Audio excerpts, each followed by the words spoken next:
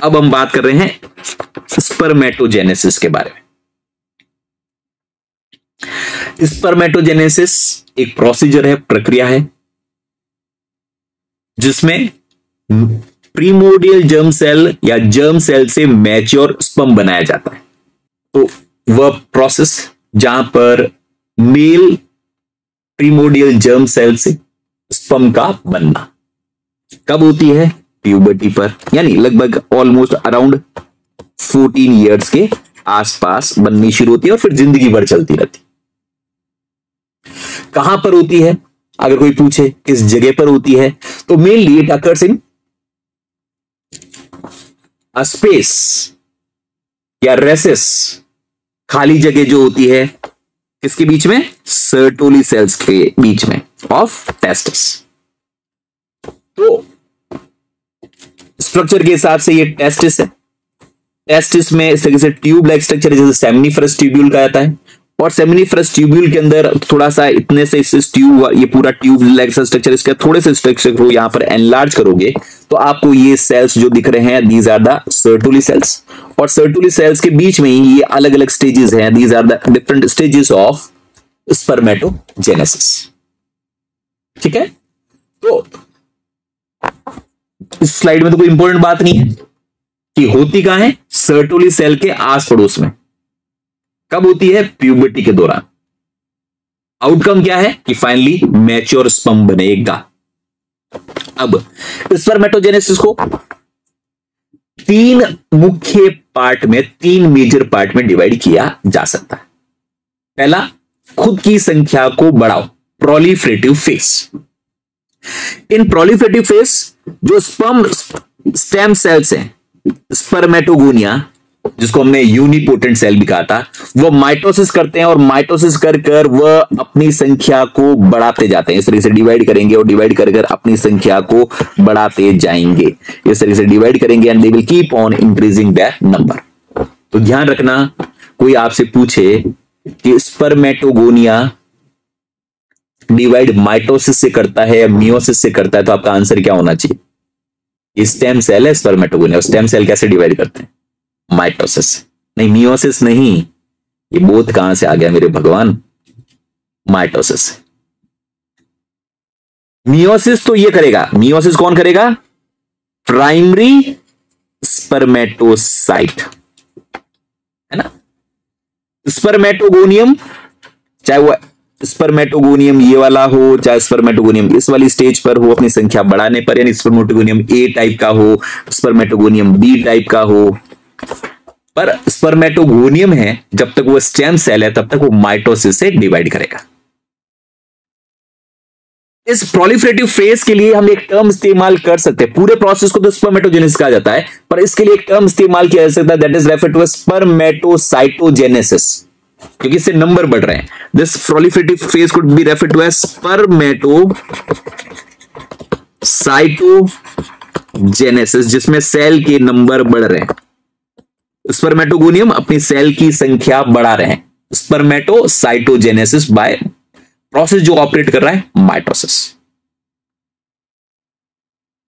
उसके बाद कुछ सेल्स में कमिटमेंट हो जाता है कि अब वह प्राइमरी स्पर्मेटोसाइट की तरह बिहेव करेंगे। वापस वही रेटिनोइक एसिड वाली कहानी आएगी। रेटिनोइक एसिड की कहानी होगी। यहाँ पर कोई जो जीन है, वह S T R eight gene express होगा और S T R eight eight gene express होगा। तो अब माइटोसिस की बजाय क्या होगी? मियोसिस तो प्रोलिफेटिव फ़ेज़ के बाद क्या आएगी? Meiosis yes increase in the number of cell of spermatogonium is refer to as spermatocytogenesis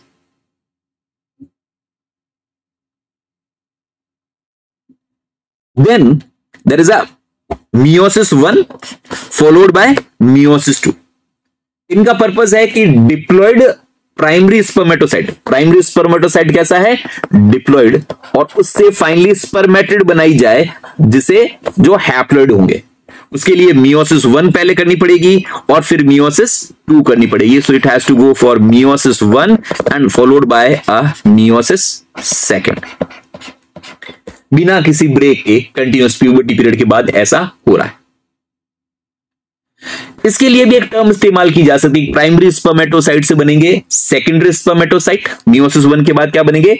secondary spermatocyte और सेकेंडरी स्पर्मेटोसाइट्स आगे चलकर मियोसिस टू के बाद बनेंगे स्पर्मेटिड इस पूरे प्रोसेस के लिए स्पर्मेटिड बनने तक को, क्योंकि स्पर्मेटिड बना रहे हैं तो स्पर्मेटिड बनने की प्रक्रिया को स्पर्मेटिडो जेनेसिस भी कहा जा सकता है। तो म्यूटिक फ़ेज़ से हम क्या बना रहे हैं? Create haploid cell that is referred to as spermatid और स्पर्मेटिड बनने तक की प्रोसेस को प्राइमरी स्पर्मेटोसाइट से स्पर्मेटिड बनने वाले प्रोसेस को हम क्या कह सकते हैं? स्पर्मेटिडो जेनेसिस अब सेल हैप्लोइड तो बन चुके हैं पर अभी वो फंक्शनल स्पर्म या स्पर्म जैसी शक्ल वाले नहीं हुए अब इन स्पर्मेटिड को स्पर्म वाली फॉर्म में कन्वर्ट करना है, उस जैसी स्ट्रक्चर में कन्वर्ट करना है। जो मियोसिस के बाद होती है स्पर्मेटिड बनने के बाद होती है। ताकि ये स्पर्मेटिड अब स्पर्म में कन्वर्ट हो सके। The process is refer to as spermiogenesis जिसमें जो गोल मोल आपके स्पर्मेटिड है, वो अपने ज़्यादातर साइटोप्लाज्मिक मटेरियल की उल्टी कर देते हैं मतलब बाहर की तरफ़ रिलीज़ कर देते हैं और एक पतले से दुबले से न्यूक्लिएटेड लंबी पूंछ वाले सेल में कन्वर्ट हो जाते हैं, जिन्हें कहा जाता है स्पर्म तो इस लास्ट प्रोसेस कहलाता है स्पर्मियोजेनेसिस पूरे प्रोसेस को that is spermato process of spermatocytogenesis spermatidogenesis and spermiogenesis इस पूरे प्रोसेस को मिलाकर उसे कहा जाता है स्पर्मेटोजेनेसिस तो spermatogenesis it is divide into three major step spermatogenesis तीन स्टेप में बटी हुई होती है। प्रोलिफरेटिव फेस जहाँ पर पहले स्पर्मेटोगोनियम अपनी संख्या को बढ़ाते हैं। और जब वो अपनी संख्या को बढ़ा रहे हैं तो उससे कहा जाता है स्पर्मेट स्पर्मेटो साइटोजेनेसिस फिर उसके बाद तय हो जाता है कि नहीं, अब बहुत नंबर बढ़ा दिए कुछ सेल। में रेटिनोइक एसिड की वजह से S T R eight gene express होता है और अब वह तय करते हैं कि उन्हें मियोसिस करना है। मियोसिस फ़र्स्ट करते हैं मियोसिस सेकंड करते हैं। प्राइमरी स्पर्मेटोसाइट सेकेंडरी स्पर्मेटोसाइट में और सेकेंडरी स्पर्मेटोसाइट स्पर्मेटेड तो फाइनली स्पर्मेटेड बने। स्पर्मेटेड बनने तक के प्रोसेस को प्राइमरी स्पर्मेटोसाइट से स्पर्मेटेड बनने की प्रोसेस को स्पर्मेटिडो जेनेसिस कहा गया। एक बार स्पर्मेटेड बन गए तो अब स्पर्मेटेड को स्पर्म में कन्वर्ट करना है। तो उस दौरान ज़्यादातर जो साइटोप्लाज्मिक मटेरियल है, उसको एक्सोसाइटोसाइज कर दिया जाता है, बाहर की तरफ़ रिलीज़ कर दिया जाता है। एक स्ट्रीमलाइन स्ट्रक्चर बनता है, लंबी सी पूंछ वाला। उसे कहा गया स्पम और इस लास्ट प्रोसेस को कहा जाता है स्पमनियोजेनेसिस टोटल ड्यूरेशन स्पर्मेटोजेनेसिस की कितनी होती है दोस्तों? तो माउस के अंदर बात करें तो लगभग एक महीने से चार दिन ज़्यादा 34.5 डेज़ कहाँ पर? माउस के अंदर। जिसमें स्टेज वन में आठ दिन लगते हैं। स्पर्मेटोगोनियल स्टेज, जहाँ पर वो अपनी संख्या का विस्तार कर रहे हैं। मियोसिस में तेरह दिन का समय ले रहे हैं।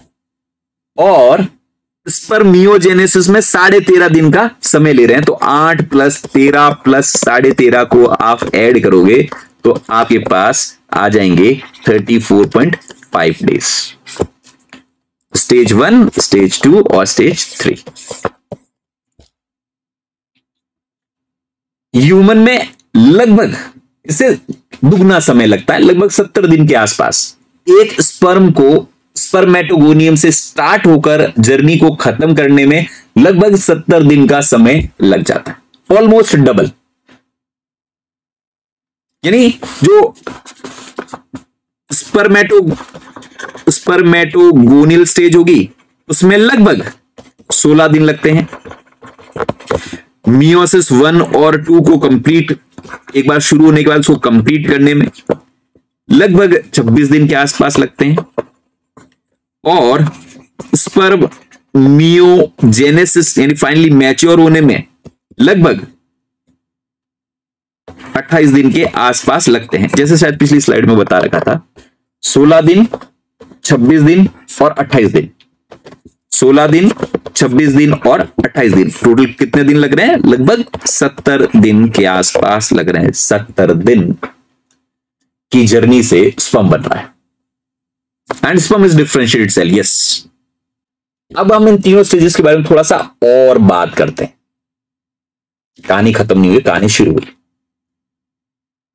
सबसे पहली बात आती है प्रोलिफ्रेटिव फेस तीन फेजेस थी पॉलीफ्रेटिव फिर मियोटिक और फिर स्पर्मियोजेनेसिस सबसे पहले है प्रोलिफ्रेटिव फेस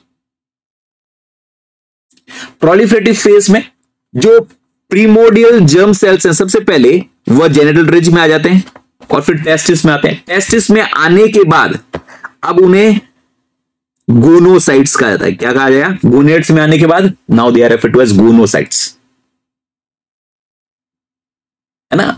अपना घर बन गया, घर पर आते ही उनकी आरती वारती स्वागत कर कर वो अंदर आ गए तो अब उन्हें प्रीमोडियल जर्म सेल कहने की बजाय, भटकते हुए सेल कहने की बजाय, अब वो अपने निवास स्थान पर आ गए तो उन्हें हम क्या करें? गोनोसाइट्स गोनोसाइट्स हैं वह अब सेक्स कॉर्ड में, यानी टेस्टिस के अंदर जो ट्यूब लाइक स्ट्रक्चर होता है सेमिनिफरस ट्यूब्यूल वहाँ पर आकर रहना शुरू कर देते हैं। कहाँ पर आकर शुरू हो जाते हैं? कि वो सेक्स कॉर्ड जिनको आगे सेमिनिफरस ट्यूब्यूल बनाना है, उस कमरे में आकर रहना शुरू करते हैं। अब कमरा बन रहा है, घर में तो आगे, पर अभी सेमिनिफरस ट्यूब्यूल बनना है, पर जो seminiferous tubule tube like structure जो बनने वाला है, उस जगह पर आकर गोनोसाइट्स रहना शुरू हो गए। जैसे ही सेमिनिफरस ट्यूब्यूल बन गई, यानी अपना कमरा तैयार हो गया है तो अब उन्हें गोनोसाइट की बजाय उनको और थोड़ा सा प्रमोशन कर कर उनको नाम देना क्या शुरू कर लेते हैं? स्पर्मेटोगोनियम अब तुम्हें स्पर्मेटोगोनियम का तमगा दिया जा रहा है, क्योंकि अब सेमिनिफरस ट्यूब्यूल बन गई ये देखो सेमिनिफरस ट्यूब्यूल और ट्यूब्यूल के बीच में खाली जगह होती है यहाँ पर भी ये जो ग्रीन कलर के इस तरीके से बता रखे हैं, ये ग्रीन कलर के जो बता रखे हैं दीज आर अनडिफ्रेंशिएटेड ये जो ग्रीन कलर के बता रखे हैं, बिल्कुल जो ट्यूब लाइक स्ट्रक्चर तो दीवार पर चिपके हुए हैं। दीवार के ऊपर, सबसे दीवार के ऊपर चिपके हुए कौन है? स्पर्मेटोगोनियम दीवार से जैसे जैसे अंदर की तरफ़ ट्यूब की तरफ़ आएँगे वैसे वैसे स्पम की तरफ़, अंदर की तरफ़ ऐसे ऐसे यहाँ से इधर की तरफ़ ट्यूब के सेंटर की तरफ़ आते जाएँगे वैसे वैसे आपको स्पर्म की मैच्योर स्टेजेस देखने को मिलेगी। तो जो ऐसा ट्यूब लाइक स्ट्रक्चर है, दीवार पर चिपके हुए स्पर्मेटोगोनियम थोड़ा अंदर की तरफ़ आओगे तो प्राइमरी स्पर्मेटोसाइट थोड़ा और अंदर की तरफ़ आओगे तो सेकेंडरी स्पर्मेटोसाइट थोड़ा और अंदर की तरफ़ जाओगे स्पर्मेटेड और खाली खोखली जगह पर स्पर्म होंगे। ट्यूब के अंदर ट्यूब के अंदर तैरते हुए स्पर्म फिर आगे रिलीज़ किए जा सकते हैं। तो ऐसे ऐसे धीरे धीरे उनकी जर्नी अंदर की तरफ़ खाली वाली जगह पर होती जा रही है डेवलपमेंट के दौरान। सो so, कहाँ पर स्पर्मेटोगोनियम रिसाइड कर रहे हैं? They are residing near the basal end basal end of tubular cells diagram में तो बनाना नहीं है पर फिर भी प्रोलिफरेटिव फ़ेज़ से पहले की कहानी वापस बताइए डेवलपमेंट से रिलेट की गई है कि घूमते भटकते हुए primordial germ cell finally testis में आ जाते हैं। तो अब उन्हें गोनोसाइट कहा जाता है। गोनोसाइट सेक्स कॉर्ड में आकर रहना शुरू कर देते हैं। सेक्स कॉर्ड कन्वर्ट होती है सेमिनिफरस ट्यूब्यूल में। जैसे सेक्स कॉर्ड सेमिनिफरस ट्यूब्यूल में कन्वर्ट होती है तो अब गोनोसाइट को हम कहना शुरू कर लेते हैं स्पर्मेटोगोनिया पर अभी भी ये माइटोसिस से ही डिवाइड कर रहे हैं। तो अब डिवीज़न के बारे में बात कर लेते हैं। प्रोलिफेटिव फ़ेज़ चल रही है।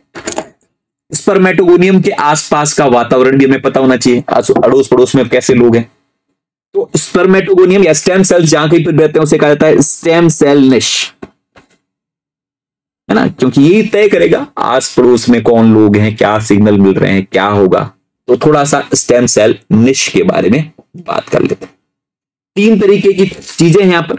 So stem cell niche it is found by junction of Sertoli cells ये देखो यहाँ पर ये जो पूरे पूरे सेल्स बता रखे हैं, ये ये बीच वाले, ये पूरा, ये सेल इतना बड़ा सा सेल ये पूरा सेल यहाँ से लेकर यहाँ तक, ये पूरा पूरा कौन सा सेल है? सर्टोली सेल ये ये ये इस तरह से बता रखा है। ये सेल ये वाला जो सेल है, ये कौन है? सर्टोली सेल ये ऐसे ऐसे यहाँ तक बता रखा है, ये बहुत बड़ा सा सेल ये कौन है? सर्टोली सेल है। देखो शेप भी उसकी अजीब सी शेप है ना? ये कौन है? सर्टोली सेल कितना बड़ा सर्टोली सेल और एक सर्टोली सेल दूसरे सर्टोली सेल के साथ चिपका हुआ दूसरा सर्टोली सेल है तो सर्टोली सेल ये ये दूसरा सर्टोली सेल ये दूसरा सर्टोली सेल है पूरा पूरा दूसरा सर्टोली सेल है So this is a second Sertoli cell. And one Sertoli cell, they may be connected with uh, another Sertoli cell by certain tight junctions. और सर्टुली सेल्स के बीच में बेचारे लुढ़कते हुए कुछ जगहों पर, खाली जगहों पर, जहाँ सर्टुली सेल है, उनके बीच में कुछ जगहों पर लुढ़कते हुए आगे बढ़ते हुए ये क्या है? मेल गैमेट्स की डिफरेंट स्टेजेस जो इधर की तरफ़ धीरे धीरे आगे की तरफ़ एडवांस होती जा रही है। और जैसे जैसे ये यहाँ पर आएगी तो स्पम में कन्वर्ट होते जाएँगे। यहाँ पर दोस्तों, हमारे पास, इस जगह पर हमारे पास है स्पर्मेटोगोनिया इस जगह पर सारे सारे हमारे पास क्या है? ये स्पर्मेटोगोनियम है बेसल साइड पर चिपके हुए, ये हमारे स्पर्मेटोगोनियम ठीक है? डायग्राम आपको बनाना नहीं है, मैं सिर्फ़ बताना चाहता हूँ, ये सारे सारे स्पर्मेटोगोनियम है। तो एक आस पड़ोस में कौन हो गए? तो आस पड़ोस में सर्टुली सेल हो गए। ब्लू सेल न्यूक्लियस नहीं है। ये ये, इन्हीं की आगे स्टेजेस है। ये इन्हीं की, ये हो सकता है कि आपके प्राइमरी स्पर्मेटोसाइट हो, ये हो सकते हैं सेकेंडरी स्पर्मेटोसाइट हो, फिर यहाँ पर स्पम्स हो सकते हैं। यहाँ पर कौन हो सकते हैं? स्पम हो सकते हैं। ठीक है? ब्लू न्यूक्लियस नहीं है। ब्लू उनके बीच में जो ब्लैक ब्लैक बता रखा है, वो न्यूक्लियस हो सकता है। है ना? तो वो तो डिफरेंट स्टेजेस है। इनके बीच में जो ये वाला स्ट्रक्चर बता रखा है, ये न्यूक्लियस हो सकता है सेल के अंदर वाला। ठीक है? So these are the different stages अभी बात करेंगे, समझ में आ जाएगा। तो स्पर्मेटोगोनियम की जो निश है, उसमें कौन होता है? तो सर्टोली सेल, जो सबसे ज़्यादा है और आपस में चिपके हुए हैं। फिर इंटरस्टिशियल लेडिक सेल। कुछ जगहों पर लेडिक सेल्स हैं, जैसे इस डायग्राम में ये इंटरस्टिशियल स्पेस है और इंटरस्टिशियल स्पेस के अंदर ये वाले जो सेल्स बता रखे हैं, वो बता रखे हैं लेडिक सेल्स। लेडिक सेल्स अभी पढ़ चुके हैं। सर्टुली सेल्स क्या प्रोड्यूस करते हैं? एंटी मुलेरियर हार्मोन प्रोड्यूस कर रहे थे और लेडिक सेल क्या प्रोड्यूस करते हैं? टेस्टोस्टेरोन प्रोड्यूस करते हैं तो वही वाले। लेडिक सेल इंटरस्टिशियल यानी कई कई जगहों पर, खाली स्थानों पर, खाली जगहों पर कौन है? लेडिक सेल और तीसरा ब्लड वेसल्स ये देखो, ये बता रखा है ब्लड वेसल्स है ना? These are the blood vessels तो ब्लड वेसल्स ब्लड की सप्लाई भी वहाँ तक है स्पर्मेटोगोनियम तक. आसपास में लेडिक सेल भी है और आसपास में सर्टुली सेल भी है. इस जगह पर, इस सुंदर जगहों पर रहते हैं हमारे स्पर्मेटोगोनियम। तो स्पर्मेटोगोनियम का जहाँ निर्माण है, वहाँ पानी है, नदी आ रही है दैट इज़ ब्लड पड़ोसी भी अच्छे अच्छे हैं, लेडिक सेल जो म्यूज़िक लेडिक सेल टेस्टोन का म्यूज़िक सुनाते रहते हैं, ज़रूरी है स्पर्मेटोजेनेसिस के लिए। और हिफाजत करने के लिए प्रोटेक्शन करने के लिए जेड सिक्योरिटी वाले हमारे हैं बेसिकली सर्टोली सेल और सिर्फ़ सिक्योरिटी नहीं करेंगे खिलाएँगे, पिलाएँगे, पालन पोषण करेंगे, ध्यान रखेंगे कि सब चीज़ें सही ढंग से चल रही है कि नहीं चल रही। तो इतनी शानदार जगहों पर रह रहा है हमारा स्पर्मेटोगोनियम और जैसे जैसे बड़ा होता जाएगा मैच्योर होता जाएगा, ये ऐसे सर्टोली सेल इसको आगे प्रमोट करेगी भाई चल तू आगे, चल तू और आगे, चल तू आगे, चल। और स्पर्मेटोगोनियम ये देखो स्पर्मेटोगोनियम की डिफरेंट स्टेजेस है। यहाँ पर भी किससे चिपके हुए हैं? स्पर्मेटोगोनियम किससे चिपके हुए हैं? स्पर्मेटोगोनियम किससे चिपके हुए हैं? तो spermatogonium attach to Sertoli cells by adhesion molecules और सर्टोली सेल्स तो पूरे सही ढंग से रखवाले हैं, हर तरफ़ से हिफाजत करने वाले। ये री ब्लड ब्लड वेसल्स की लोकेशन है ना? ये री ब्लड वेसल्स की लोकेशन है ब्लड वेसल्स की लोकेशन नहीं दे रही ये री this is the blood vessels this is the blood vessels ठीक है? क्योंकि टीएस कट किया तो आप ऐसे तो बता नहीं सकते तो ब्लड वेसल का सिर्फ़ पाइप का ऐसा कटा हुआ ऐसा दिखेगा आपको। है ना प्रतीक? क्योंकि हमने सेक्शन कट किया है टेस्टिस का।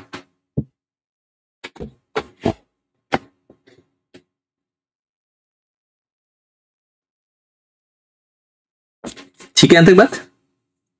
और ये blood brain barrier sorry blood test barrier है ब्लड यहाँ तक रह सकता, आगे नहीं जा सकता ट्यूब्यूल की तरफ़ नहीं जा सकता। ठीक है, चलो, आगे बात करते हैं। Sertoli cells they provide nourishment to the spermatogonia developing और सिर्फ़ नरिशमेंट ही क्यों? और भी कई सारी चीज़ें। नरिशमेंट के अलावा it provides a nourishment certain factors nourishment variety of paracrine factors paracrine factors nourishment and paracrine factors for to the spermatogonia ताकि स्पर्मेटोजेनेसिस नॉर्मल तरीके से चालू हो सके। चलो तो अब तक प्रोलिफरेशन की बात कर रहे हैं। जिनकी हम प्रोलिफरेशन की बात कर रहे हैं, उनका घर कैसा, उनके आसपास का माहौल कैसा, ये हमने पढ़ा। अब हम प्रोलिफरेशन की बात कर सकते हैं। अब स्पर्मेटोगोनियम जैसे हम बात कर चुके हैं कि माइटोसिस की वजह से स्पर्मेटोगोनिया अपनी पॉपुलेशन को बढ़ाता है। ब्लू कलर में क्या है? कौन सा ब्लू कलर में? ब्लू कलर में डिफरेंट स्टेजेस है। ये प्राइमरी स्पर्मेटोसाइट हो सकता है, ये सेकेंडरी स्पर्मेटोसाइट हो सकता है, ये स्पर्मेटेड हो सकता है और ये स्पर्म हो सकता है। ब्लू कलर में डिफरेंट स्टेजेस है। ठीक है बेटा?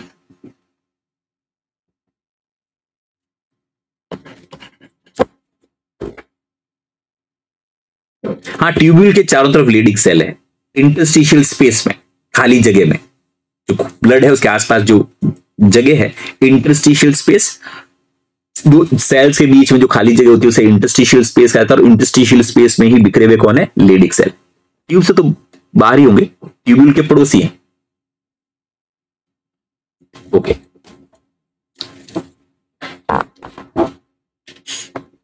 देन माइटोसिस जो स्पर्मेटोगोनिया में होता है, उसकी पॉपुलेशन को बढ़ाता है। सबसे पहले जो डिफ्रेंशिएटिंग स्पर्मेटोगोनियम होते हैं, उन्हें कहा जाता है टाइप ए स्पर्मेटोगोनियम वह और माइटोसिस करते जाते हैं, करते जाते हैं। इनको अब तक, जब तक वो माइटोसिस कर रहे हैं और साइटोप्लाज्मिक कनेक्शन से जुड़े हुए हैं, इन्हें क्या कहता है? ये सारे सारे क्या हैं? टाइप ए जिसमें अभी कोई कमिटमेंट नहीं हुआ कि मियोसिस करेंगे कि नहीं करेंगे, ये सारे सारे क्या है? Type A spermatogonia so differentiating spermatogonia which are dividing by the process of mitosis इन्हें कहा जाता है हम, इन्हें हम कहते हैं टाइप ए स्पर्मेटोगोनिया और ह्यूमन एक सेकंड के अंदर एक हज़ार स्पर्म प्रोड्यूस कर सकता है. It can produce more than thousand sperms per second उसको सपोर्ट करने के लिए माइटोसिस भी तो चाहिए. तो आप सोचो, एक सेकंड में एक हज़ार से भी ज़्यादा। टाइप ए स्पर्मेटोगोनिया आगे की तरफ़ बढ़ सकते इन एडल्ट मिल्स चलो, आगे बात करते हैं। तो प्रोलिफ्रेशन में सबसे पहले क्या होते हैं? कि कई सारे स्पर्मेटोगोनियम डॉर्मेंट होते हैं, पर कई सारे एक्टिव होते हैं। एक्टिवली डिवाइड करते हैं। और जो एक्टिवली डिवाइड करते हैं, अपनी संख्या को बढ़ाते जा रहे हैं, उन्हें क्या कहा गया? टाइप ए ठीक है? यहाँ तक क्लियर और माइटोसिस का मकसद क्या है? कि पॉपुलेशन को बढ़ाया जा सके।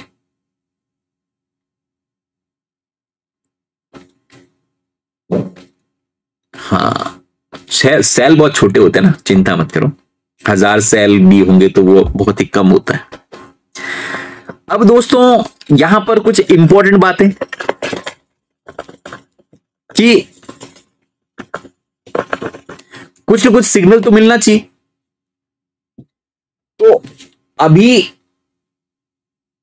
सेल को मियोसिस वाली स्टेज में नहीं जाना है, उनको स्टेम सेल की तरह काम करते रहना है। उसके लिए काम करता है एक important factor refer to as G D N F that is glial cell line derived neurotrophic factor जैसे हम बात कर रहे थे ना कि प्लूरीपोटेंट स्टेम सेल को इंड्यूस कर सकते हैं और उनमें मेंटेनेंस का काम करते हैं, उनकी पूरी पोटेंसी को मेंटेन करने के लिए। हमने बात भी की थी oct two sorry CDX two oct three four के बारे में। ऐसे ही। स्पर्मेटोगोनियम को स्टेम सेल वाली स्टेट में बनाए रखने के लिए इंपॉर्टेंट रोल प्ले करता है glial cell derived neurotropic factor हाँ तो अभी भी सत्तर दिन ही है ना? अभी भी सत्तर दिन है ना? अब कौन से सत्तर दिन से कम हो गया? एक जो सत्तर दिन में शुरू हुआ वह सत्तर दिन में खत्म हो तो हर सेकंड में कितने बन रहे होंगे? ये तो देखो ना, सत्तर दिन पहले हमने प्रोडक्शन स्टार्ट किया। तो सत्तर दिन के बाद हमें प्रोडक्शन मिलना शुरू हो जाएगा तो उसके एक सेकंड बाद बात करो, उसके एक सेकंड बाद बात करो तो एक एक सेकंड बाद हमें प्रोडक्ट मिल रहा होगा। ठीक है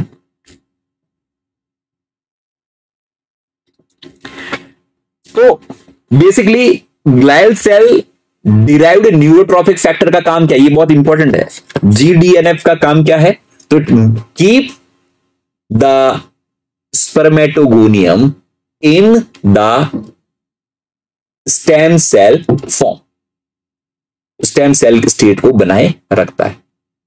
कौन प्रोड्यूस करता है? जीडीएनएफ को।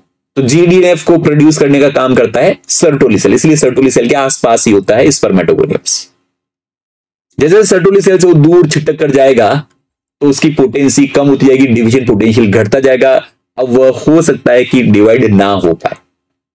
तो GDNF produced by Sertoli cells और माइलोइड सेल्स जो बेसिकली पास में ही सेमिनिफरस ट्यूब्यूल के आसपास ही होते हैं मैकेनिकल स्ट्रेंथ देने का काम करते हैं myoid cells so myoid cells they provide mechanical strength they provide mechanical strength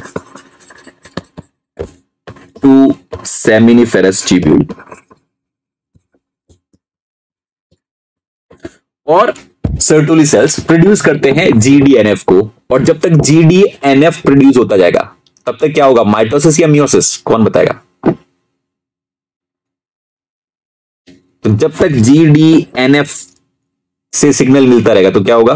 mitosis और अगर रेटिनोइक एसिड से दें तो? यस माइटोसिस होगा। और रेटिनोइक एसिड से सिग्नल मिले तो? मियोसिस ना, दो कॉन्ट्राडिक्टरी सिग्नल है। तो जीडीएनएफ जिनको मिलता रह रहा है, वहाँ पर S T R eight gene express नहीं हो रहा होगा। और स्पर्मेटोगोनियम अपनी स्टेम सेल वाली स्टेट को बनाए रख रहे ठीक है? बात समझ में आ रही है यहाँ तक तो? चलो। तो ये हमारे पास जो स्पर्मेटोगोनियम जो अभी भी साइटोप्लाज्मिक कनेक्शन से जुड़े हुए हैं साइटोकाइनेसिस हुई तो है, पर कंप्लीट नहीं हुई है। अभी भी साइटोप्लाज्मिक ब्रिजेस से उनको जोड़ा गया है। ये सारे सारे क्या है?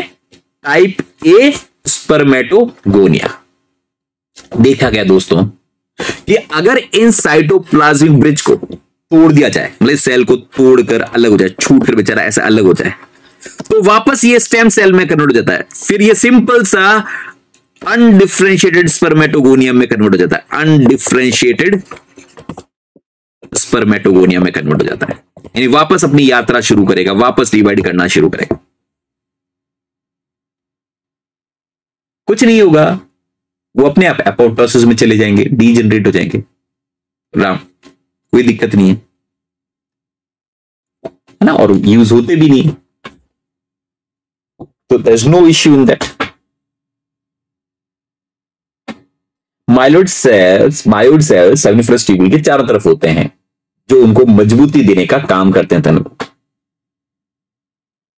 सो so, जैसे जैसे स्पर्मेटोगोनिया डिवाइड होते हैं वह आपस में अटैच होते हैं साइटोप्लाज्मिक ब्रिज से। पर ये ब्रिजेस फ्रेगाइल है कई बार ये टूट कर सेल अलग हो सकता है।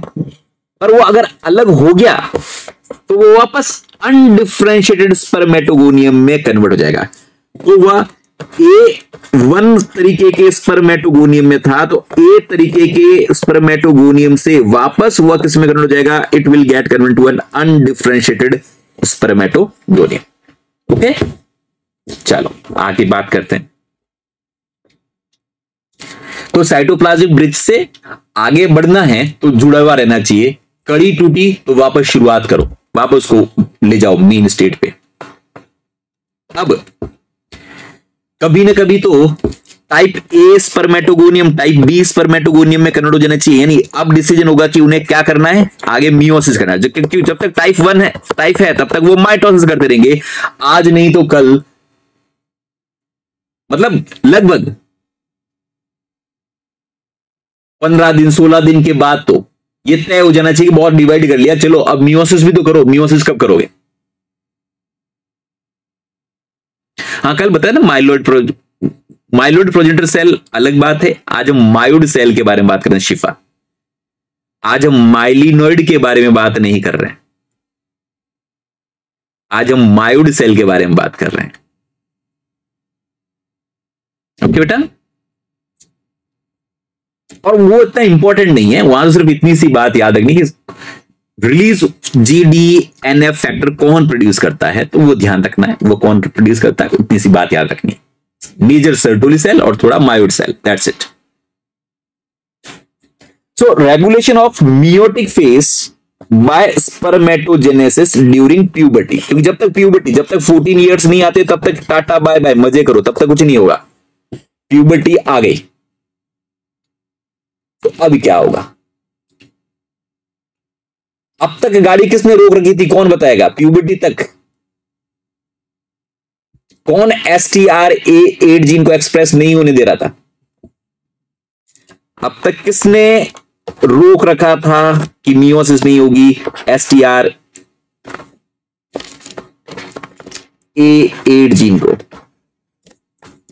यस यस यस नहीं नहीं, ये कौन इज़ अरे, सिर्फ़ ट्वेंटी सिक्स वन बी रोकता नहीं है, वो तो डिग्रेड करता रेटिनोइक एसिड को बेटा।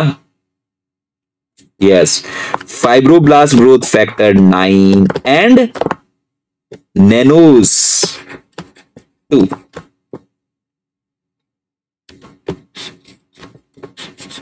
ना, ऐसा मत सोना कि बाइकॉर्ड नैनो सिर्फ़ ड्रोसोफिला में है। नैनोज ह्यूमन में भी आ गया है। ठीक है? आपका फेवरेट नैनोज दूसरा वाला नैनोज ह्यूमन के अंदर। चलो, आगे बात करते हैं। नाउ प्यूबर्टी स्टेज पर आने पर ये जीन का एक्सप्रेशन हो जाता है बंद। प्यूबर्टी आएगी तो इन का हो जाएगा एक्सप्रेशन बंद। और इनका एक्सप्रेशन बंद हो जाएगा तो फिर S T R A eight gene हो जाएगा ऑन अब S T R A eight gene हो जाएगा on so at puberty due to a very high amount of luteinizing hormone puberty पर किसका अमाउंट बढ़ेगा? आप ऐसे एनिमल फिजियो में पढ़ेंगे ल्यूटिनाइजिंग हार्मोन एक लेवल से ज़्यादा बढ़ेगा. उसकी वजह से F G F nine gene nanos two gene का एक्सप्रेशन बंद हो जाएगी। भाई बहुत रोक लिया। अब मत रोको। बच्चा बड़ा हो गया। S T R eight gene on हो जाएगा। जैसे ही S T R eight gene on हुआ S T R eight gene transmit factor activate हुआ तो उसकी वजह से एक और प्रोटीन का लेवल बढ़ जाएगा, जिसका नाम है बीएमपी एट बी, जिसका लेवल एक क्रिटिकल कंसंट्रेशन से ज़्यादा हो जाएगा। तो इसलिए ह्यूमन नैनो कार बनाई, बहुत बढ़िया है। चलो। एक बार बीएमपी एट बी नाम का पैराक्राइन फैक्टर बना। तो वह स्पर्मेटोगोनिया को मजबूर करता है कि वह अपने ऊपर कोई एक ऐसा रिसेप्टर बनाए ताकि वह सर्टोली सेल की बात मान सके। सर्टोली सेल एक पैराक्राइन फैक्टर रिलीज़ करता है, इसका नाम है स्टेम सेल फैक्टर पिछले चौदह साल से Sertoli cell stem cell factor बना रहा था। पर स्पर्मेटोगोनियम के कान पर जू तक नहीं रेंग रही थी। वो कुछ रिस्पॉन्ड कर ही नहीं रहा था, क्योंकि वह कॉम्पिटेंट नहीं था। स्टेम सेल फैक्टर जो सर्टोली सेल बना रहा है, उसके अगेंस्ट रिस्पॉन्ड करने के लिए स्टेम सेल फैक्टर का रिसेप्टर भी तो होना चाहिए स्पर्मेटोगोनियम पर। और उस रिसेप्टर को एक्सप्रेस कराने के लिए एक सिग्नल मिलना ज़रूरी है, जिसका नाम है बीएमपी एट बी और बीएमपी एट बी एक लेवल से ज़्यादा तब बढ़ेगा जब एस टी आर एट नाम का जीन एक्सप्रेस होगा। और एस टी आर एट का जीन तब एक्सप्रेस होगा जब रेटिनोइक एसिड का लेवल हाई हो और नैनोज टू और फाइब्रोब्लास्ट ग्रोथ फैक्टर काम ना करे। एफ़ जी एफ़ नाइन काम ना करे नैनोज टू काम ना करे। एक बार एच फैक्टर की बात स्टेम सेल फैक्टर जो सर्टोली सेल ने बनाया, उसकी बात अगर स्पर्मेटोगोनियम ने मान ली तो अब स्पर्मेटोजेनेसिस के दौरान टाइप ए वाले स्पर्मेटोगोनियम टाइप बी में कन्वर्ट हो जाते हैं। किसकी बात मानने पर कौन सिग्नल दे रहा है? इस सिग्नल कहाँ से मिल रहा है? स्टेम सेल फैक्टर की वजह से। स्टेम सेल फैक्टर कहाँ से आ रहा है? सर्टोली सेल से। तो उससे पहले स्टेम सेल फैक्टर वाली बात क्यों लागू नहीं हो रही थी? क्योंकि इसके लिए इन सेल्स के ऊपर क्या होना चाहिए? रिसेप्टर होना चाहिए। इनके ऊपर रिसेप्टर होना चाहिए। रिसेप्टर का नाम है स्टेम सेल फैक्टर रिसेप्टर। तो वापस मैं रिवाइज करूँगा आपको? जैसे अब, इस स्लाइड से हमें क्या शिक्षा मिलती है? इस स्लाइड से हमें यह शिक्षा मिलती है कि जब human male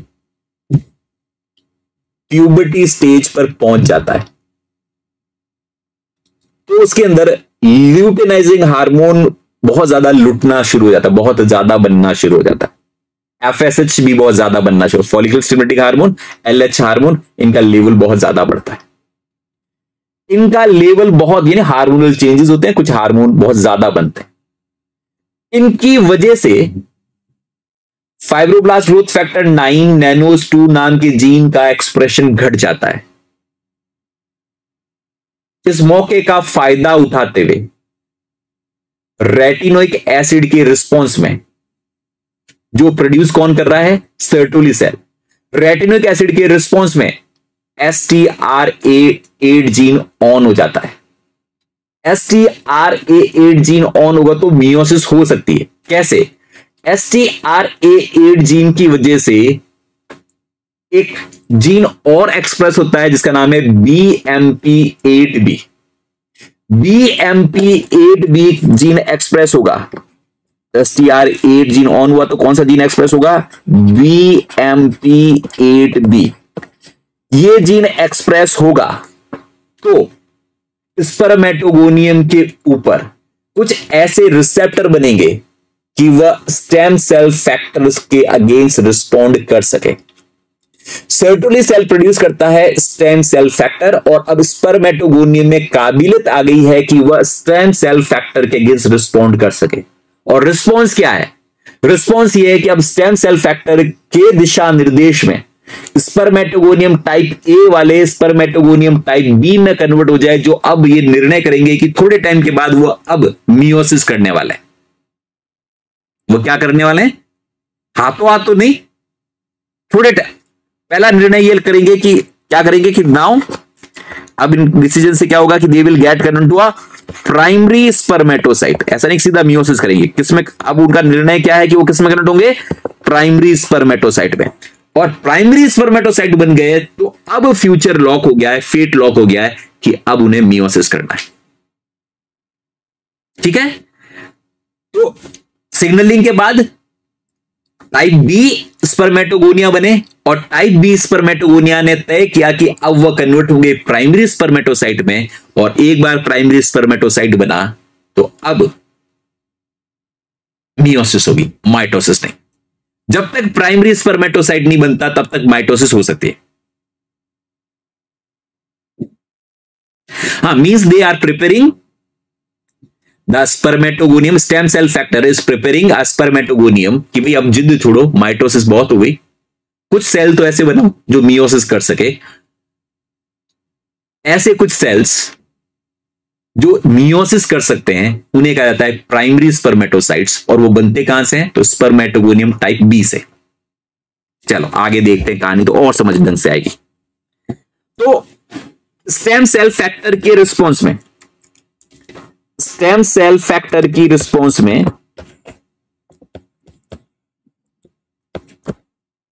type B spermatogonium primary spermatocytes बनाते हैं।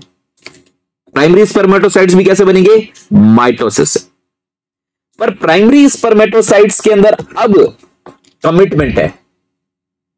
जो जो प्राइमरी स्पर्मेटोसाइट में कन्वर्ट हुए हैं, उनमें कमिटमेंट है कि अब वो माइटोसिस नहीं करेंगे, बल्कि वो क्या करेंगे? मियोसिस अब तक सेल टू एन है। वह टू एन सेल है। अभी तक वो हैप्लोइड नहीं हुए। हाँ प्यूबर्टी आते तक माइटोसिस होती रहेगी, वो अपनी नंबर संख्या बढ़ा सकते हैं, श्वेता। मियोसिस नहीं कर सकते। प्राइमरी स्पर्मेटोसाइट क्या करेंगे? तो they will convert go for a meiosis one और मियोसिस वन करते ही क्या बन जाएगा? सेकेंडरी स्पर्मेटोसाइट सेकेंडरी स्पर्मेटोसाइट कर कंप्लीट करेंगे मियोसिस सेकंड को. दे विल कन्वर्ट और कन्वर्ट हो जाएँगे स्पर्मेटिड में. पर अभी भी सारे सारे सेल साइटोप्लाज्मिक कनेक्शन से जुड़े हुए अभी भी साइटोप्लाज्मिक कनेक्शन से जुड़े हुए स्पर्मेटेड बनने तक भी वह साइटोप्लाज्मिक कनेक्शन से जुड़े हुए। हाँ धीरे धीरे क्लियर होगा क्योंकि इसलिए मैं कह रहा हूँ ना थोड़ा आराम से चलेंगे धीरे धीरे मुझे पता है कि कैसे स्टेप बाय स्टेप बढ़, बढ़ना है। अभी तो स्टोरी शुरू हुई है। तो हुआ क्या? स्टेम सेल फैक्टर के रिस्पॉन्स के अंदर कुछ स्पर्मेटोगोनियम ए वाले बी में कन्वर्ट हुए। और स्पर्मेटोगोनियम बी वालों ने प्राइमरी स्पर्मेटोसाइट बनाया और प्राइमरी स्पर्मेटोसाइट ने तय किया कि वो माइटोसिस नहीं करेंगे मियोसिस करेंगे। प्राइमरी स्पर्मेटोसाइट बिना देरी किए कन्वर्ट हो जाते हैं सेकेंडरी स्पर्मेटोसाइट में मियोसिस वन कर कर। बिना किसी ब्रेक के सेकेंडरी स्पर्मेटोसाइट मियोसिस टू को कंप्लीट करते हैं और कन्वर्ट हो जाते हैं स्पर्मेट्रिड में। अब यहाँ पर जो सेकेंडरी स्पर्मेटोसाइट्स है, वह हैप्लोइड है और स्पर्मेटेड भी हैप्लोइड है। अब सारे सारे हैप्लोइड है। अभी भी वह साइटोप्लाज्मिक कनेक्शन से जुड़े हुए so spermatids are still connected spermatid है तो हैप्लोइड पर दिल से अभी भी वो डिप्लॉयड है। मतलब अभी भी आपस में क्योंकि हैप्लोइड होने का मतलब आधा जेनेटिक इंफॉर्मेशन इधर चला गया, आधा इधर चला गया?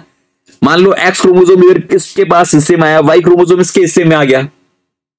पर फिर भी एक सेल जिसके पास वाई क्रोमोजोम आया, जिसके पास एक्स क्रोमोजोम नहीं आया, उसको भी एक्स क्रोमोजोम के प्रोटीन प्रोडक्ट मिलते रहते हैं। क्योंकि अगर एक्स क्रोमोजोम से कोई प्रोटीन प्रोडक्ट बनता भी है तो वो साइटोप्लाज्मिक कनेक्शन से दूसरे सेल तक पहुँच जाएगा। तो हम क्या करें? जेनेटिकली हैप्लोइड हुए हैं, पर फंक्शनली अभी भी डिप्लॉयड है। यानी अभी भी क्रोमोजोम से बनने वाले प्रोटीन क्रोमोजोम से बनने वाले एमआरएनए और एमआरएनए से बनने वाले प्रोटीन को सभी सेल में बराबर बंटवारा किया जा सकता है। अगर यहाँ से आप स्पर्मेटिड को तोड़ दें, अलग कर दें तो फिर डेवलपमेंट फेल्स डेवलपमेंट फेल हो जाएगा। डेवलपमेंट को कंटिन्यूस जारी रखने के लिए प्रोटीन का शेयरिंग करना ज़रूरी है और प्रोटीन शेयरिंग के लिए स्पर्मेटिड्स का साइटोप्लाज्मिक ब्रिज से जुड़ा हुआ होना ज़रूरी है। तो प्राइमरी स्पर्मेटोसाइट भी बन गया सेकेंडरी स्पर्मेटोसाइट भी बन गया, बिना देरी के स्पर्मेटिड भी बन गया। और स्पर्मेटिड से अब हमें बनाना है दोस्तों स्पर्म अब हमें बनाना है स्पर्म तो अब लास्ट स्टेप स्टेप पर आए दैट इज़ स्पर्मियोजेनेसिस जिसका दूसरा नाम ये भी नोट डाउन करना कई बार इस, इसको स्पर्मेटिलियोसिस भी कहा जा सकता है। स्पर्मियोजेनेसिस जो कि स्पर्मेटोजेनेसिस की लास्ट स्टेज है also refer to as spermiogenesis spermiogenesis ध्यान रखना। स्पर्मियोजेनेसिस तो सभी जानते हैं। इस प्रोसेस में क्या है? It is a maturation of spermatid into functional sperm spermatid का फ़ंक्शन स्पर्म में कन्वर्ट होना, इसे स्पर्मियोजेनेसिस कहा जाता है। इस दौरान कई तरीके के बदलाव होते हैं, कई तरीके की घटनाएँ होती है। यानी बेचारा इस तरीके का कोई सेल था, ऐसा कुछ, और इससे ऐसा कुछ बना देना, इस तरीके की डिज़ाइन वाला सेल बना देना। तो कई सारे इसके साथ बदलाव होंगे, कई इस तरीके के बदलाव देखने को मिलेंगे इस दौरान।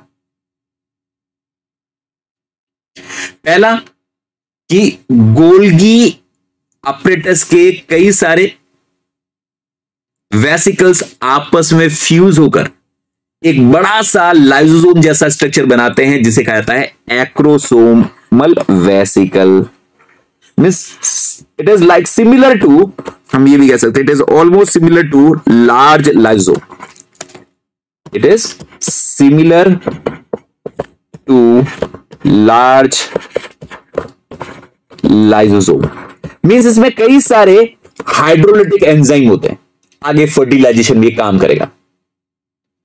और ये जो बहुत बड़ा अभी देखेंगे, ये जो न्यूक्लियस है न्यूक्लियस को चारों तरह से कवर भी करेगा। ये इस तरीके से कवर भी करेगा एक्रोसोमल वेसिकल ये मान लो स्पम का हेड बन रहा है तो स्पम के हेड के अंदर न्यूक्लियस को कवर करने का ये काम करेगा। हाँ स्पम का दूसरा नाम स्पमेटोजोआ भी बिल्कुल सही बात है बेटा। तो एक्रोसोम बना और एक्रोसोम ने पूरा न्यूक्लियस को कवर भी किया। ठीक है, ऐसा टोपी जैसा स्ट्रक्चर बना हाँ गोल्गी से डिराइव हुआ है। लाइजोम भी तो गोल्गी से डिराइव होता है तो एक्रोसोम भी बेसिकली गोल्गी से ही डिराइव है। ओके कृष्ण? देन इसका न्यूक्लियस रोटेट होता है ताकि एक्रोसोम बन सके। है ना न्यूक्लियस की पोजीशन बदली जाती है ताकि एक्रोसोम आराम से बनाया जा सके। न्यूक्लियस रोटेट ताकि एक तरफ़ कैप लगे एक्रोसोम की और दूसरी तरफ़ पूंछ बन सके। इस तरीके से न्यूक्लियस को रोटेट कराया जाता है। और इस तरीके से भी कि जो कैप वाला रीजन है वो सेमिनिफेरस ट्यूब्यूल के वॉल की तरफ़ हो और पूंछ है वो ल्यूमन की तरफ़ हो। जैसे डायग्राम में वो ना कि इस तरीके से फाइनली रोटेट करना है। इस डायग्राम में आप देख रहे थे इसके अंदर कि इस तरीके से रोटेट करो कि जो कैफ वाला रीजन इधर की तरफ़ रहे और पूछ वाला रीजन इधर की तरफ़ रहे। न्यूक्लियस को रोटेट कराओ। कि जो सेमिनिफरस ट्यूब्यूल है, उसकी वॉल की तरफ़ होना चाहिए सिर और उससे दूर की तरफ़ सेंटर की तरफ़ होना चाहिए पूछ। सो द न्यूक्लियस रोटेट ताकि कैप है, वह बेसल लेबिला की तरफ़ फेस करे, और टेल है वह सेमिनिफरस ट्यूब्यूल के ल्यूमन की तरफ़। बाहर से जो सिग्नल मिल रहे हैं, वो सारे के सारे किससे मिल रहे हैं? तो वापस वही हमारा सर्टोली सेल तो सर्टोली सेल्स कई सारे सिग्नल्स दे रहे हैं। ठीक है? चलो। उसके साथ साथ रोटेट होने के साथ फ्लैजिलम बनना शुरू होता है। जैसे जैसे यहाँ पर कोई सेंट्रियोल होगा सेंट्रियोल से ऐसे फ्लैजिलम बनना शुरू होगा। फ्लैजिलम है, वो बनना शुरू होगा। सेंट्रियोल से। न्यूक्लियस के दूसरी तरफ़। न्यूक्लियस की एक तरफ़ आपका एक्रोसोमल स्ट्रक्चर बन रहा है तो दूसरी तरफ़ फ्लैजिलम बन रहा है। हाँ आर जेनेटिकली हैप्लोइड का मतलब। सबके पास एक एक ही न्यूक्लियस होता है आदि इंफॉर्मेशन न्यूक्लियस में आधी इंफॉर्मेशन होती है। और न्यूक्लियस में आधी इंफॉर्मेशन है, इसका मतलब वो सारे प्रोटीन नहीं बना सकता। पर फिर भी सारे प्रोटीन नहीं बना सकता, फिर भी कोई कमी नहीं होती। क्योंकि पास वाला सेल जो प्रोटीन बनाता है, वो इसको शेयर कर देता है, इधर वाला प्रोटीन सेल है, दूसरे को शेयर कर देता है। इसलिए हमने कहा कि वह जेनेटिकली हैप्लोइड है बट फिजिकली अभी वह डिप्लोइड जैसी स्थिति में है। है ना? तो इसलिए वो फंक्शनली डिप्लोइड की तरह है। जैसे डिप्लोइड सेल में सारे प्रोटीन बन सकते हैं, इसी तरीके से इनको भी सभी प्रोटीन बन, प्राप्त होते रहते हैं, सौभाग्य अभी भी प्राप्त है, क्योंकि अभी भी घर में बंटवारा होने के बावजूद रहते एक ही घर में अलग अलग घर में नहीं गए अभी भी उनके बीच में दरवाजे बना रखे हैं कि एक भाई दूसरे घर में, एक भाई में जो खाना बना, वो दूसरे भाई को बांटा जा सकता है। दूसरे भाई के घर में जो खाना बना, वो पहले घर में आ सकता है। अभी भी वो कनेक्टेड है। और दो उन्होंने अपने अपने किचन अलग अलग कर दिए। सीमन भी बनेगा। Semen would be mixture semen will have sperm and various other factors जो इजोकुलेशन के दौरान रिलीज़ होगा। देन आगे बात करते हैं। सो so, पूछ है वह सेमिनिफरस ट्यूब्यूल के ल्यूमन की तरफ़ एक्सटेंड करेगी। न्यूक्लियस है वो बिल्कुल फ्लैट होता जाता है छोटा होता जाता है। न्यूक्लियस फ्लैटन होता जाता है कंडेंस हो जाता है। और ज़्यादातर जो साइटोप्लाज्म इससे वो बाहर की तरफ़ से उल्टी कर दिया। अभी हम देखेंगे वैसे उल्टी बाहर की तरफ़ रिलीज़ ज़्यादातर साइटोप्लाज्मिक कंटेंट है वो बाहर की तरफ़ रिलीज़ कर दिया जाएगा। इसको नहीं चाहिए। और जो फ्लैजिला है, इसके चारों तरफ़ खूब सारे माइटोकॉन्ड्रिया लग जाते हैं, जिससे एनर्जी प्रोवाइड करेंगे। सो माइटोकॉन्ड्रिया एक रिंग बना देते हैं फ्लैजिला के बेस के आसपास, जिससे एटीपी मिलेगी। एटीपी दी जाएगी एक मॉलिकुलर मोटर को, जिसका नाम है डाइनिन डाइनिन मॉलिकुलर मोटर और डाइनिन मॉलिकुलर मोटर किसके साथ काम करती है? तो फ्लैजिला के अंदर कौन सा प्रोटीन होता है? ट्यूबलिन प्रोटीन के साथ काम करेगी। और ट्यूबलिन प्रोटीन के साथ कौन काम करता है? डाइनिन काम करता है। और, या ट्यूबलिन प्रोटीन क्या बनाती है? माइक्रोट्यूब्यूल्स उनके साथ ये काम करता है। उसकी वजह से क्या होता है? फ्लैजिलर मूवमेंट होगा। फ्लैजिला मूव कर पाएगा। That would be a flagellar movement तो फ्लैजिला को मूव करने के लिए फ्लाइक मोशन करने के लिए एटीपी चाहिए। एटीपी किसको चाहिए? एक डाइनिन मॉलिकुलर मोटर को। डाइनिन मॉलिकुलर मोटर ट्रैक की तरह किसको इस्तेमाल करती है? तो ट्रैक की तरह इस्तेमाल करती है माइक्रो ट्यूब्यूल्स को। माइक्रो ट्यूब्यूल्स किसके बने होते हैं? ट्यूबलिन प्रोटीन के। ओके जिसके बारे में हम काफ़ी डिटेल में सेल बायोलॉजी में डिस्कस करेंगे। ये जो चीज़ें मैंने कही, या डायग्रामेटिकली बता रही आपको डायग्राम नहीं बनाना है। सिर्फ़ देखो कि पहले ये न्यूक्लियस था, ये इधर की तरफ़ गोल्गी था। गोल्गी के कई सारे वेसिकल्स आपस में देखो फ्यूज होती जा रही है। जैसे एक्रोसोमल वेसिकल बनेगी।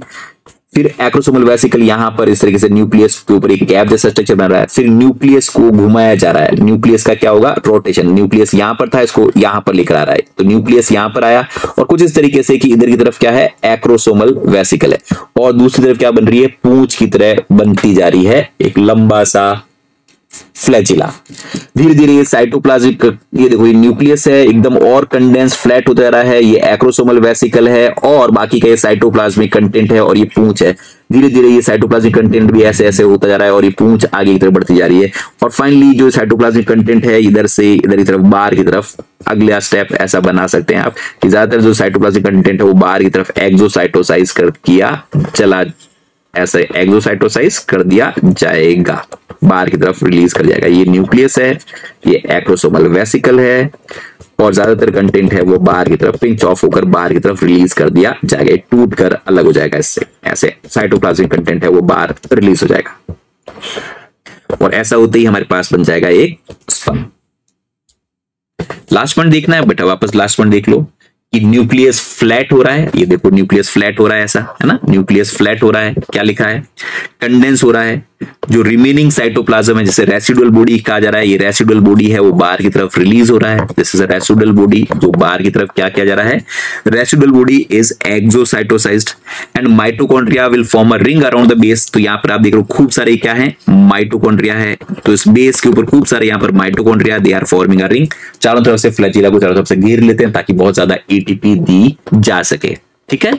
तो यहाँ तक की बात इसमें लिखी हुई थी। अब तो क्लियर है। पर कहानी दोस्तों अभी खत्म नहीं हुई है। स्पर्म अभी पूरी तरीके से मैच्योर नहीं हुआ है। ये कहानी लगातार अभी भी चल रही है। अब ये सेमिनिफरस ट्यूब्यूल में आ चुके हैं। बट सेमिनिफरस ट्यूब्यूल के ल्यूमन यानी ये जो ट्यूब्यूल थी, इस ट्यूब्यूल में उन्होंने यहाँ से स्टार्ट करते हुए खूब सारे यहाँ पर सेल हैं, इस तरीके से, इस तरीके से खूब सारे सेल हैं, यहाँ से चिटक कर ये यहाँ पर आ चुके हैं, इस जगह पर ल्यूमन वाली जगह पर आ चुके हैं। पर अभी भी इनकी कहानी खत्म नहीं हुई है, इनकी कहानी शुरू हुई थी यहाँ पर कहीं पर दीवार के साथ, फिर ऐसे ऐसे करते हुए यहाँ तक आ गए ल्यूमन में फ्री भी हो चुके हैं। पर अभी भी डेवलपमेंट चल रहा है। कुछ मॉलिकुलर चेंजेस स्पर्मियोजेनेसिस में क्या होते हैं वो भी देख लो। कि ड्यूरिंग स्पर्मियोजेनेसिस जो नॉर्मल स्टोन है, उसकी जगह पर कुछ स्पर्म स्पेसिफिक स्टोन आ जाते हैं और लास्ट में तो फाइनली वहाँ पर प्रोटामीन्स आ जाते हैं। क्या होता है दोस्तों? स्टोन प्रोटीन की जगह पर कौन आता है? तो स्टोन प्रोटीन की जगह पर आ जाता है। नॉर्मली स्टोन प्रोटीन न्यूक्लियोसोम जैसा स्ट्रक्चर बनाता है ना तो न्यूक्लियोसोम वाला स्ट्रक्चर स्पम में नहीं पाया जाएगा। स्टोन प्रोटीन की जगह पर कौन आ जाएगा वहाँ पर दोस्तों? प्रोटामीन्स आ जाएँगे। प्रोटामीन्स बहुत बेसिक प्रोटीन है। हाईली बेसिक प्रोटीन बहुत ज़्यादा बेसिक प्रोटीन है, जो डीएनए के साथ और टाइटली बाइंड होंगे, क्योंकि डीएनए एक एसिडिक मॉलिक्यूल है। स्पर्मियोजेनेसिस में कुछ molecular changes this is the molecular changes तो मॉलिकुलर चेंजेस क्या क्या है? उनके बारे में हम बात कर रहे हैं। कि एक तो न्यूक्लियोसोमल अब स्ट्रक्चर नहीं होगा। स्टोन हट जाएँगे और डीएनए कॉइल्ड होगा कुछ और बेसिक प्रोटीन के ऊपर और बेसिक प्रोटीन का नाम है protamines they are very highly condensed compact gene का एक्सप्रेशन नहीं होगा। आठ जीन रिच होते हैं। बिल्कुल, जो भी आपका ज्ञान आपको याद आ रहा है, वापस। पर हाँ बात सही है, लेकिन छोड़ो उस ज्ञान को, हम थोड़ा मोलिकुलर बायोलॉजी के लिए रख देते हैं अपन। दूसरा मोलिकुलर बायोलॉजी का एक और ज्ञान, जिसको हमें यहाँ पर ज़्यादा नहीं झाड़ना, सिर्फ़ सी बात याद रखनी है कि एपिजेनेटिक्स में जब हम पढ़ेंगे कि कुछ मिथाइलेशन पैटर्न मेल स्पेसिफिक होता है और कुछ फीमेल स्पेसिफिक होता है। तो स्पर्म बनते वक्त, जो भी मिथाइलेशन पैटर्न है, उसको हटाया जाए और क्योंकि ये स्पर्म है तो मेल स्पेसिफिक मिथाइलेशन किया जाए।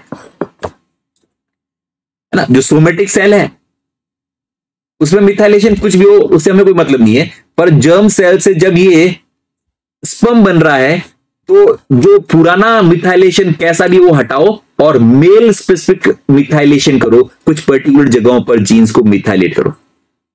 क्योंकि बहुत ज़्यादा आर्जिन रिच प्रोटामीन्स आ चुके हैं, इसलिए अब ट्रांसक्रिप्शन होना बंद हो जाएगा। There would be no transcription ये पूरा जीनोम है, वह हेट्रोक्रोमेटिन में कन्वर्ट हो गया है। क्या बन चुका है? पूरा पूरा हेट्रोक्रोमेटिन बन चुका है, यानी कंडेंस्ड क्रोमेटिन बन चुका है। कैसा वो बन चुका है? कंडेंस्ड क्रोमेटिन जिसका अब एक्सप्रेशन कराना संभव नहीं है। और इस तरीके का स्पर्म मॉलिकुलर चेंजेस के बाद कहाँ पर एंटर कर जाता है? सेमिनिफरस ट्यूबुल में। पर जैसे मैंने कहा कि अभी भी दोस्तों ये यहाँ से छिटक कर अलग आकर कहा आ गया? आ चुका है ल्यूमन में, पर अभी भी कहानी खत्म नहीं हुई है। प्रोसेस लगातार चलता जाएगा। तो क्या क्या चेंजेस है? सिर्फ़ शॉर्ट नोट में कैसे लिखोगे? हिस्टोन की जगह पर प्रोटामिन ऐसा। हिस्टोन एरो प्रोटामिन दूसरा कि male specific original methylation pattern remove male specific methylation pattern established तीसरा पॉइंट ट्रांसक्रिप्शनली इनएक्टिव चौथा point sperm enter into tubule बस दैट्स इट सेकंड पॉइंट का मतलब कि डीएनए में जहाँ कहीं पर भी मिथाइल ग्रुप लगे हुए उन सबको हटा दो मिटा दो और सिर्फ़ उन जगहों पर मिथाइलेशन करो जो मेल साइड से आगे जाना चाहिए। बस, ये है मीनाक्षी दूसरा पॉइंट। कि पुरानी सारी याद जैसे मैं बार बार कहता हूँ ना, फेंको सारी चीज़ें बालकोनी से, ऐसे ही, अब स्पम भी कराए, सब मिथाइलेशन हटाओ, पुराना मिथाइलेशन हटाओ। अब मैं वापस नया मिथाइलेशन जोड़ूँगा नेल स्पेसिफिक मिथाइलेशन जोड़ूँगा। ठीक है? चलो, आगे बात करते हैं। एक बार टेस्टिस से स्पर्म सेमिफरस ट्यूब्यूल से टेस्टिस में वो कहाँ रिसाइड करता है? एपन डायडेमस में। और एपन डायडेमस के कुछ सेल्स हैं दे रिलीज़ एग्जोसो वेसिकल्स जैसे स्ट्रक्चर्स हैं। है ना? ये स्पर्म है और स्पर्म इस तरीके का स्पर्म हमारा बन चुका है और स्पर्म के के पास आ रहे हैं एग्जोजोम क्या आ रहे हैं? एग्जोजोम और ये एग्जोम किसके साथ फ्यूज हो रहे हैं? ये भी फ्यूज हो रहे हैं स्पर्म के साथ। और इस एग्जोम में क्या भरा हुआ है? क्या माल मसाला है? इस एग्जोम के अंदर मेनली है खूब सारे नॉन कोडिंग आरएनए एग्जोम में क्या है? नॉन कोडिंग आरएनए यानी स्पर्म को जाते जाते कुछ और हथियार देते जाते हैं। नॉन कोडिंग आरएनए है। स्मॉल नॉन कोडिंग आरएनए जैसे इसमें कुछ हमारे पास M I R N A है और भी कई तरीके के आर एन एस और कुछ फैक्टर्स बढ़ दिए स्पम को जाते जाते कि देख, तेरे को फर्टिलाइजेशन करना है, वहाँ तेरे को इस तरीके की दिक्कतें आ सकती है, तू साथ में आर एन ए लेकर जा। ताकि एग के कुछ जीन्स को इनिबिट करने में काम आएँगे। हाँ बैक्टीरिया में अलग रोल है, यहाँ पर अलग रोल है कृष्णा, है ना? यहाँ पर हम बैक्टीरिया की बात नहीं कर रहे हैं, यहाँ पर ये एपिजेनेटिक मॉडिफिकेशन की हम बात कर रहे हैं। है ना? तो जाते जाते एपेंडाइडस, एपेंडाइडमस के कुछ सेल्स स्पर्म को और कुछ एक्स्ट्रा ज्ञान, समान देते हुए जा रहे हैं, हथियार देते जा रहे हैं। तो इनको भी साथ में लेकर जाना, तुम्हें काम आएगा फर्टिलाइजेशन के दौरान। बिल्कुल, ये एक्स्ट्रा वेपन है सर्जिकल स्ट्राइक के लिए। एक्सोम में क्या होते हैं? They contain small non coding RNA और कुछ फैक्टर्स हो सकते हैं। ये जो अब नए हथियार स्पर्म को पकड़े हैं, ये एग के अंदर जाने के बाद एग के अंदर जाने के बाद एग के कुछ जीन्स का एक्सप्रेशन करा सकते हैं, कुछ के रोक सकते हैं। तो the sperm will bring these agent ये जो नॉन कोडिंग आ हैं इनको कहाँ पर लेकर जाएगा? एग के अंदर, इन हथियारों को। जब स्पर्म फ्यूज होगा एग के साथ तो ये हथियार कहाँ पहुँच जाएँगे? एग के अंदर। तो ये सारी चीज़ें का टेस्ट से तो आ चुका है एपन डायडेमस में, पर एपन डायडेमस में एपन डायडेमस में भी एक्स्ट्रा ज्ञान दिया जा रहा है कि ये लो, अभी तुम इसको भी लेकर जाओ, अभी तुम बड़े नहीं हुए। कहानी अभी भी खत्म नहीं हुई। अभी भी इसको पूरी तरीके से वो परिपक्व मैच्योर नहीं हुआ है। एपन से वास्ट डेफरेंस और वास्ट डेफरेंस से वो बाहर इजेकुलेट हो गया है, पर अभी भी बचपना है स्पर्म में, अभी भी स्पर्म मैच्योर नहीं हुआ है। स्पर्म की और ट्रेनिंग के लिए, और मैचुरेशन के लिए उसको पहुँचना पड़ेगा फीमेल रिप्रोडक्टिव ट्रैक्ट के अंदर। तो हम कह रहे हैं? गाड़ी अभी खत्म नहीं हुई है। स्पर्म को यूरेथ्रा से बाहर की तरफ़ इजेकुलेट कर दिया गया है। बाहर की तरफ़ इजेकुलेट कर दिया गया है, तब तक भी स्पर्म यानी अब ये सीमन का हिस्सा है जिसमें सीमन में क्या है? स्पर्म है और फिर कई सारे स्पर्म प्लस वेरियस सिक्रेशन है। और भी कई सारे सिक्रेशन है। जो पीएच को मेंटेन करके रख रहे हैं, कुछ नरिशमेंट का काम करते हैं, वो सारे सिक्रेशन और स्पर्म मिलकर जो रिलीज़ किया गया that is refer to semen पर अभी भी परिपक्व स्पम नहीं हुआ है, एक बार तो आ चुका है इजेकुलेट तो हो चुका है। और अगर ट्रेनिंग करनी है उसको, और मैच्योर होना है कैपेबल होना है फर्टिलाइजेशन के लिए तो अब फीमेल की शरण में आना ही पड़ेगा। बिना फीमेल के कुछ नहीं हो सकता। हाँ सेमिनल वेसिकल से भी सिक्रेशन मिलकर वो सीमन हो गया। बिल्कुल सिक्रेशन फ्रॉम सेमिनल वेसिकल्स ठीक है? चलो। तो उसे हमने सीमन का। यस फाइनल डेस्टिनेशन फीमेल का रिप्रोडक्टिव ट्रैक्ट जहाँ पर होता है कैपेसिटेशन जिसके बारे में हम आगे पढ़ेंगे, जब फर्टिलाइजेशन पढ़ेंगे। फीमेल रिप्रोडक्टिव ट्रैक्ट में कुछ इंपॉर्टेंट फैक्टर्स होते हैं specially secretion from oviduct sperm cell की मेम्ब्रेन में बहुत बड़े बदलाव लेकर आती है। क्योंकि स्पम की सेल में मेम्ब्रेन में बदलाव नहीं आया तो फिर स्पम की सेल की मेम्ब्रेन एग की मेम्ब्रेन के साथ फ्यूज कैसे होगी? जैसे कोलेस्ट्रॉल को हटाने का काम किया जाता है, और भी कई सारे चेंजेस लाए जाते हैं, जिससे स्पर्म कैपेबल हो सके कि वह एग के साथ फर्टिलाइज हो। तो फाइनल मैच्योरेशन कहाँ पर हो रहा है स्पर्म का?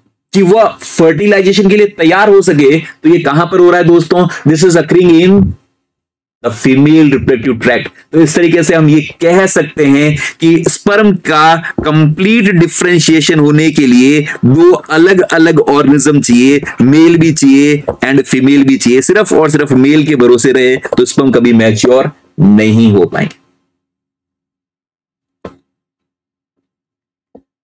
So ninety percent training male में हो चुकी है, पर काम की last percent last ten percent training कि अरे, तेरे तो मेम्ब्रेन ऐसी गड़बड़ है, तू कैसे एक के साथ फ्यूज हो सकता है? चल तेरी मेम्ब्रेन को सही करूँ ताकि तू फर्टिलाइजेशन कर पाए, ये ट्रेनिंग फीमेल के रिप्रोडक्टिव ट्रैक्ट में मिलती। ठीक है, यहाँ तक बात? और दोस्तों मेल के पास दो टेस्टिस होते हैं। हर एक टेस्टिस 100 मिलियन स्पर्म बना सकता है। एक दिन में।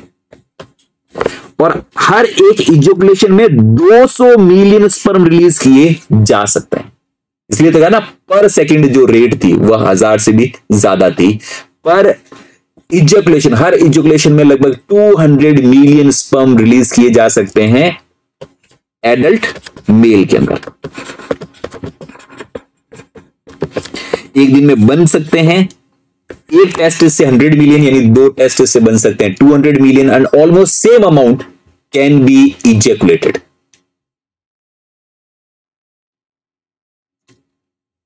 ठीक है? तो इससे पहले वाली चीज़ वापस रिवाइज करूँ? की टेस्टिस है वह सेमिनिफरस ट्यूबुल से एपेंडाइडमस में आ गया। एपेंडाइडस एपेंडाइडमस में आने के बाद एग्जोम फ्यूज हुए उसके साथ, जिससे उसके पास कुछ एक्स्ट्रा हथियार आए नॉन कोडिंग आरएनए के फॉर्म में। अब ये स्पर्म बाहर की तरफ़ इजोकुलेट हो चुका है, ये फीमेल की रिप्रोडक्टिव ट्रैक्ट में पहुँच चुका है। फीमेल की रिप्रोडक्टिव ट्रैक्ट में ओविडक्ट से कुछ संदेश या सिग्नल मिलते हैं, जो मदद करते हैं कि स्पर्म की प्लाज्मा मेम्ब्रेन में कुछ बदलाव आए और स्पर्म की प्लाज्मा मेम्ब्रेन में कुछ बदलाव आए, जिससे स्पम कैपेबल हो सके फर्टिलाइजेशन के लिए तो उसे कहा जाता है कैपेसिटेशन इस तरीके से स्पम की मैचुरेशन की जर्नी के लिए दो अलग ऑर्गेनिज्म चाहिए मेल भी चाहिए और फीमेल भी चाहिए। और रोज के एक टेस्टिस 100 मिलियन स्पर्म बना सकता है। एक बार इजोकुलेट करने पर 200 मिलियन तक स्पम रिलीज़ किए जा सकते हैं। और स्पम का स्ट्रक्चर तो आपको पता ही है कि ये देखो एक्रोसोमल वेसिकल है, ये न्यूक्लियस है। न्यूक्लियस के अंदर आपको पता ही है प्रोटामीन होता है। प्रोटामीन और डीएनए होता है तो डीएनए प्रोटामीन के साथ बाउंड होता है। ये सेंट्रियोल है। फिर सेंट्रियोल के अंदर खूब ज़्यादा माइटोकॉन्ड्रिया है, जो एटीपी प्रोवाइड कराते हैं। किसको चाहिए? एटीपी डाइनिन को चाहिए। और डाइनिन क्या कराएगा? फ्लैजिलर मोशन कराएगा। है ना फ्लैजिलर मोशन कराएगा। फिर ये खूब सारा टेल है, लंबी सी टेल है, ये स्पम का स्ट्रक्चर है। तो इस तरीके से बन गया हमारा स्पम अब आज इतना ही पढ़ेंगे क्योंकि बहुत ज़्यादा हो गया। प्रोटामीन्स क्या है प्रतीक? प्रोटामीन्स हो गए बेटा, ऐसे प्रोटीन्स जो स्टोन की जगह लेते हैं और ये स्टोन से ज़्यादा बेसिक है। एक्सोनीम क्या है? एक्सोनीम खूब सारे माइक्रोट्यूब्यूल का बंडल जो एक फ्लैजिला का निर्माण कर रहा है। नौ माइक्रोट्यूब्यूल्स के एक घेरे में अरेंज होकर दे आर फॉर्मिंग अ लंबा सिलेंडर लाइक स्ट्रक्चर जिसे एक्सोनीम कहा जा रहा है, जिसको हम सेल बायोलॉजी में पढ़ेंगे। डाइनिन का काम क्या है? मूवमेंट कराना। फ्लैजिला को ऐसे ऐसे हिलाना, ऐसे विप लाइक मोशन कराना। एक मोलिकुलर मोटर है। सेंट्रियोल क्या होता है? सेंट्रियोल से ये माइक्रोटिब्यूल्स सेंट्रियोल एक माइक्रोटिब्यूल ऑर्गेनाइजर रीजन बनाता है, जिससे ये फ्लैजिला बन रहा। Thank you thank you everyone